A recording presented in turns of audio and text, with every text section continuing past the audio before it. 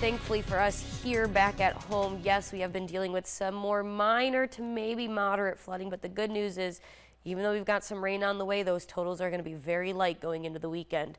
Here's what it looks like outside from Bethany Lutheran College here in Mankato right now. We are starting off on the cloudy side. We are going to see mostly cloudy skies today, though a couple pockets of sunshine are still possible.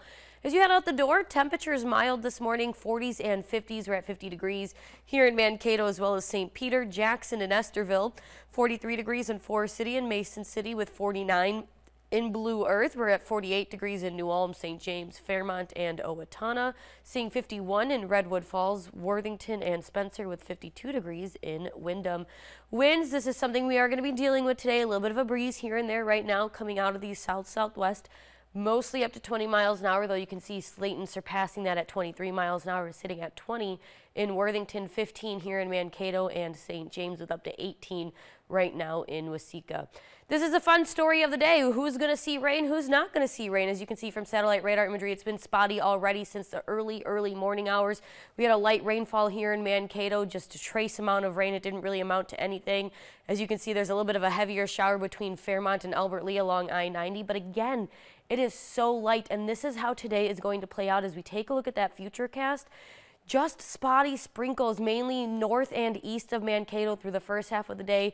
Now with these cloudy skies, it is a little saturated out there, so we could see a pop-up sprinkle, but you might not need that umbrella until later this afternoon. We've got a line of more scattered showers, if you will, moving through around 4 o'clock this afternoon. That's going to move west to east, but it really won't reach the Mankato area until between 10 and 11 o'clock tonight. When it reaches us here in Mankato, we're back to those spotty shower chances. So anywhere from isolated to scattered out to our west, we're going to see more scattered chances. And as they move eastward, they're going to become spotty and isolated.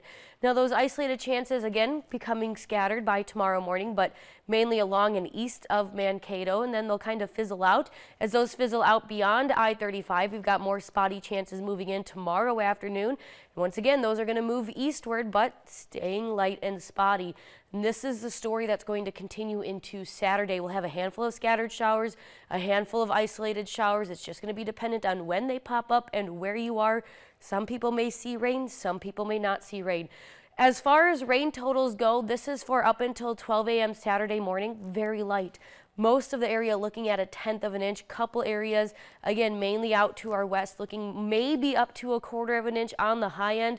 But overall, we like to see these lighter totals because we are still dealing with some flood warnings along the Minnesota River. The lighter the totals, the less that means that water is going to get added to those areas that are already either dealing with minor to moderate flooding and or those areas that are nearing flooding. So again, the lighter the totals that we see, the better.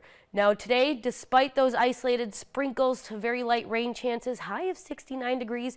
If it's dry in your area, get out there and enjoy this wonderful weather, or these temperatures, I should say, a few scattered showers possible tonight with a low 50 degrees by tomorrow morning.